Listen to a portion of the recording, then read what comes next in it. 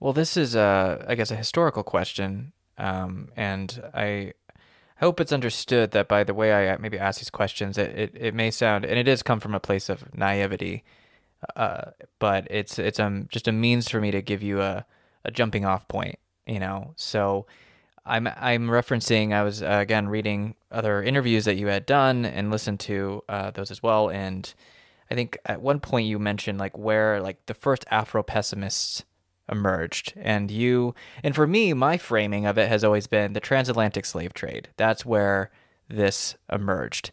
But you pinpoint even further back in time where this emerged.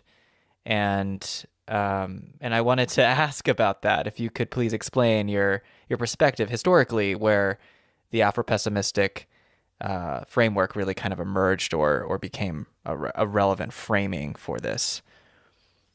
Yes, well, that was um, so. So I pieced together. I have not done the, the, research on this, but I have been working with graduate students who who have. So I want to give real credit um, to people who pointed me to literature and and and books and the aha moment kind of went off for me because when I wrote my second book, Red, White, and Black Cinema and the Structure of U.S. Antagonism, I too was thinking that the, you know, like if, if, if Marx talks about, you know, what is the inaugural moment? Ah, well, the inaugural moment is this era when Britain can, uh, Britain's political economy, which is moving towards a thing called capitalism, it's not global.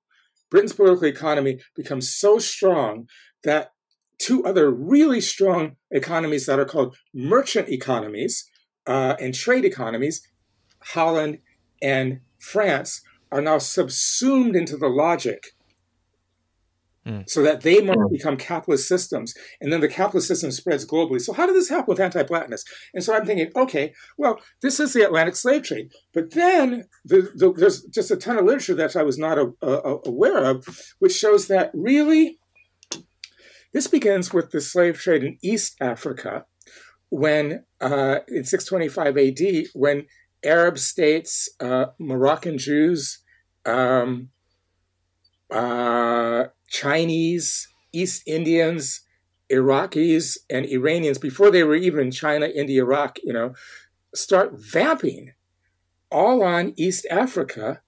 And it's and and there's a kind of unconscious but very powerful collective consensus that this place, which will one day become known as Africa, is a place of black people, and this word black keeps cropping up, and that they are always already slaves. They're always already socially dead. And and for most societies, everyone, every every race of people has enslaved someone else Every culture has enslaved someone else. Every culture has had people enslaved from their culture. But the interesting thing is that this word black begins to describe a catch all of people who are not calling themselves black. Mm. They're calling themselves uh, uh, Buganda. They're calling themselves uh, Maasai. Uh, they're calling themselves Kikuyu. And black is a kind of word that is circulating in this period from 625 AD all the way to the Portuguese among um, Arabs and Chinese and people like that to d- describe a position. And that's very fascinating to me. And so it's not slavery, which is primarily based upon uh, the need to uh, industrialize the Gulf Peninsula. Mm. It's it's a different kind of slavery. Um, even though people are working on tea plantations uh, in a place that's called Zanzibar, which uh, will later become a part of Tanzania, even though slaves are doing work, uh, real you know labor in southwestern uh, Iran. Actually, what is what what the actually so what is slavery doing for that part of the world if it's not industrializing it in the way it will the Western Hemisphere after 1452, well, what it's doing, it's producing a community of non slaves that will be global. Mm. People who will even fight each other, Iranians and Iraqis, but they have a they're developing a baseline of who we are through who we are not. And it's very interesting um, and rather horrific that uh, basically uh, a lot of East African girls and boys are being harvested by the Arabs for sexual means, not for industrial means, right? So the, what we're saying, what we're seeing is that what does it mean to have an, a family?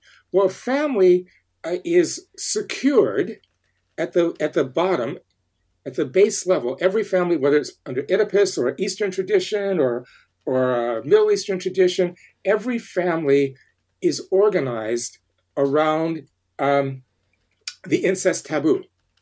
The incest taboo. So, who can you sleep with? Who can you not sleep with? And it's different, you know, who can you marry? Who can you not marry? How do we create families? How do we create this structure called filiation? And this this idea of what are the what are the what are the acceptable liaisons between individuals and how do you form an institution called the family? This is growing in the Arab world. Hmm. And it's growing in direct response to the destruction of that same capacity amongst African people. How do I mean that? I mean that because even though the incest taboo keeps the thing called the nuclear family stable, division, organized, allowed to accelerate itself, the unconscious resists the incest taboo. The, the incest taboo is an imposition of the conscious mind against the onto the desires of the unconscious mind. So what I'm trying to say is that the psyche is a very chaotic place. The psyche is a very chaotic place where the desires for immediate gratification of the unconscious are always having to be run up against um, uh, or repressed by the preconscious mind in order that people stay together and, and, and, and, and, and go by the rules. So, in, in simple format, it meant that Black women became repositories for licentious desire that could not be um, um, um, performed on women who are part of the Arab world that could one day become your, your daughter or, or your, your wife, right? Mm-hmm. And black boys experience what was called leveling at the scrotum, which is a thing where the Arabs uh, cut off their uh, uh, genitals and um, scraped their pelvic bone. And they marched these boys from the interior uh, to the coast. And any boy that did not bleed to death along the way was brought across the Gulf and became a eunuch in a harem. To you see what I'm saying? So yeah. so proper proper ways of being with men and women were being uh, policed, and also um, the the desire to transgress those proper ways were being executed on black women and policed by black men who had no genitals. But here's the deal: in the literature, at a certain point in time, it becomes uh, necessary for uh, Arabs to start making, say, other non black people into eunuchs because um, women in the harem were, uh, were finding ways, basically cunnilingus, for uh, these eunuchs to satisfy them sexually as they're supposed to be celibate, right, till their time to marry, you know. Right. And they were trying to find ways to find sexual gratification, and so, you know, it's, it's, if it wasn't so so horrifying, it'd be comical. You know, asking the eunuchs to perform oral sex on them, and the Arabs didn't want black men doing this. Mm. So what I'm trying to say is that, and then in literature, you know, you have no more friend in the black slave than you have in the dog. All of these, all these psychic symptoms of what blackness means in the mind are actually not developed by the Portuguese in 1452 in the uh, slave trade. They go back almost 600 years uh, before that, mm-hmm. right? Mm-hmm. And 1200 years before that. Um, so this is this is anti-blackness then organizes what we call the libidinal economy, the collective unconscious of the world, even if anti-blackness is performed differently from country to country. Mm. Wow. Just taking it in for a second. Okay. Um, so we went back in time. Now I'm gonna do a thing where we jump forward in time a bit. um, so my, the question that came up while I was listening to you, and and just again, just before this interview began, um, is I mean, you, you say this in your book as well that really, I guess the you said this earlier, just that other oppressed groups would not take much pleasure in seeing this country burn to the ground, while black people may have that uh, that feeling. Uh, I guess that's a part of the the experience. Um, and I guess uh, my my question really I guess comes down to this: Is there ever going to be a point in the future where Afro pessimism will not be will not accurately describe the black experience? And if so, how would that occur uh, in your in your understanding? well, you know, the answer to that question is seditious, so I'll pass. oh, you're not going to answer it. Okay, well. I mean, I mean, I'm kind of, I'm kind of fun in the old coach, but, but you know, if I were to actually say, let me, let me put it like, let me put it diagnostically. Okay. Um, because, because I, I'm, I'm kind of tongue in cheek here. I mean, if I were to answer you tactically, yes, that would be a crime, right?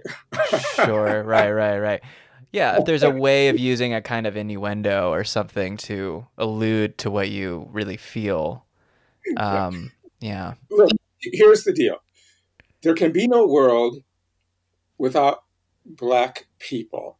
And, and my, my, my symptomatic uh, uh, memory or, or rearticulation of the Arab dynamic. What am I trying to say there? I'm trying to say world is being made from 625 AD all the way up for the next thousand years, right? World is being made, the world of the Arab family.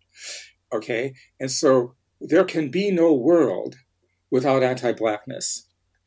And there can be no blacks in the world. My, my description of the harem should anecdotally s- explain what I mean by that. There can mm. be no mm. world without anti-blackness, and there can be no blacks in the world. Okay, so the the the destruction of black femininity, or Af- it's not even black at that point; it's African femininity, so that um, the because um, the, the mind is always aggressive against any form of constraints, and yet if you don't have constraints, you can't have community, and so how do you find a grounding wire? For the constraints that are not acceptable to your coherence and stability of your community.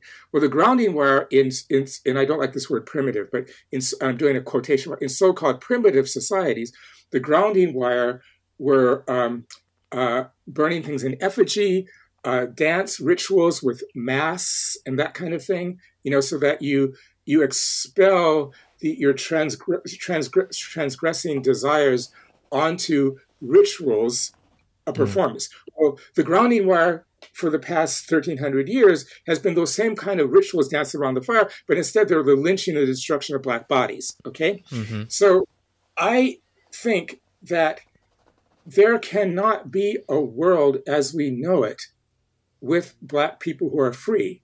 And when this world as we know it ends, there will be sentient beings like you and I on the other side, but they will not be black and they will not be human. There will be another category, mm. set of mm. categories. Mm-hmm. And that's not going to come about through negotiation mm. or consciousness raising. Right. There isn't any kind of legislation that Congress could pass to bring that about, right? very seriously. I like to pass a bill to end the United States and everything around it. All those in favor, raise your hand. Yeah, no, not to.